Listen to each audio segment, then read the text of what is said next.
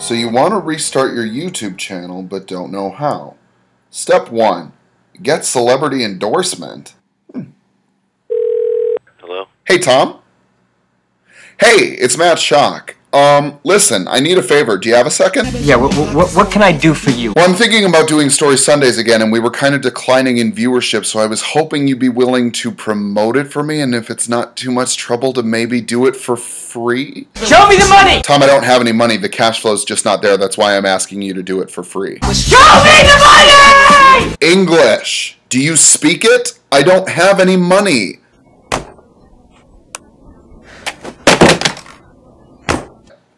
Crazy psychopath. But I will rip your tits off if you don't get me those theaters. Perfect. Hey, Tugger Nuts, I've got you on speakerphone. All right, all right, all right. I tell you, it is good to hear your voice, McConaughey. Now you're gonna get those. Who, who is this? What do you mean, who is this? It's Shock Doc, baby. Listen, I need a favor. And how'd you get this phone? Ada, it's Tom Cruise. Yeah, look, that's not important. Listen, Story Sundays, back on the map, but I need your help. And let me tell you something, shitbird. I've never even heard of your little agency. Uh, not an agency, a web series. This is Les Grossman. Who is this? This is Matt Schaak. Oh, okay. Fuckface. First, take a big step back and literally fuck your own face! What? Whatever you're thinking, you better think again. Otherwise, I'm gonna have to head down there and I will fuck you up!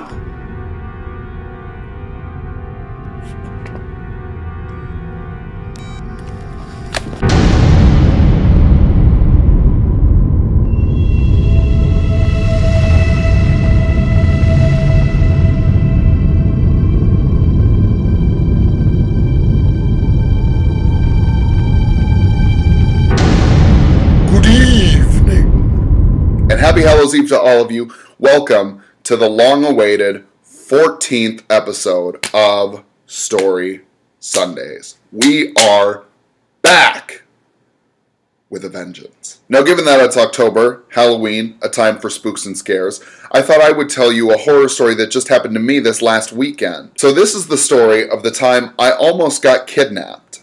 I happened to be working out last Saturday and I had finished my workout and I got into my car and this person approached my car and knocked on my window. And I just thought it was a beggar. And I thought it will be really easy to just say I don't have any money, send the person on his way, and that would be that. So I open my door and the person points all the way over to two people who are standing over near a car, and he says, Excuse me, sir, uh, my car has run out of gas. My wife, my children, and my newborn are in the car. Can you give me a ride to the gas station?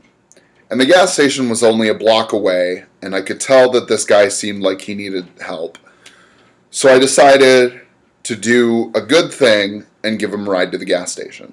So he hops in my car, and we're driving to the gas station, and he happens to get a call from his wife.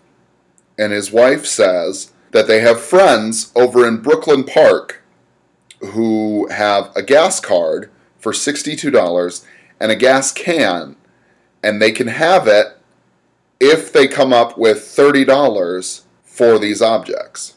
And this is kind of where all the red flags started popping up for me because I couldn't see his phone, so I didn't know if the conversation he was having was real. And it seemed suspicious that all of a sudden he needed this money. And to me, it sounded a lot like I was going to end up going to Brooklyn Park. So this is where I kind of started getting antsy that I had just picked up a stranger off the street and that it might not end well. So he realized this conversation that he just had with his wife with me that they've got friends, Brooklyn Park, gas card, gas can, and he needs 30 bucks. Well, I had just finished working out. I was sweaty. Obviously, this guy couldn't tell that because he started asking me for the money. And I said, I don't have any money because I had just come from working out and I don't take my wallet to, with me when I work out. And we were pulling into the gas station, so I said, maybe some of these people here will have some money, thinking that he would get out of the car and ask someone else for money. But he must have misheard me because he then started talking about how we could pull into the gas station, he could wash my car, and I would give him $30, then drive him to Brooklyn Park. And at this point, I started getting very, very scared because now this stranger was expecting me to give him $30, drive him all the way to Brooklyn Park, and I had never even met this person. Keep in mind, this was just supposed to be a drive to the gas station. So I say that I don't have the money, and of course, he wants to go to my apartment. Well, at this point, I'm terrified because I'm worried that I'm steps away from being kidnapped or killed or something because I don't know this person and it's suddenly hitting me little by little how shady what I've just done is. So I decide the best thing to do would be to go to my apartment to get this money, but instead of getting this money, getting my roommate because I need someone to get me out of this situation. So I say, sure, absolutely, we can go to my apartment, not a problem. And I'm driving, and he's calling his wife again saying that we're going to my apartment to get the money. Huh, little does he know. Meanwhile, I'm sitting in the driver's side trying to drive, secretly texting my roommate, Scott, that I'm in trouble and I don't know what's going on. And he's watching me so intently and everything that I can't send a text. So we get to my apartment and he says, I don't want to intrude.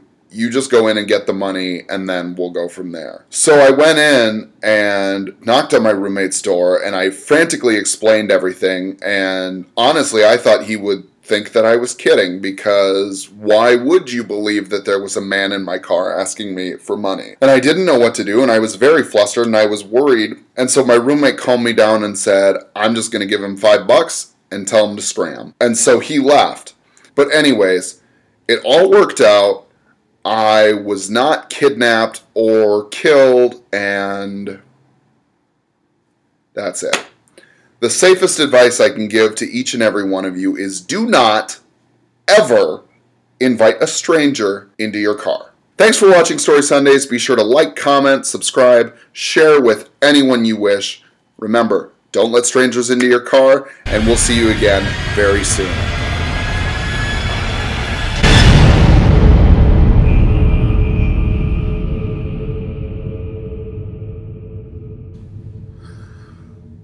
Tom, I told you, cash flow is just not there. That we have to go over to their house, that they have a gas card and everything.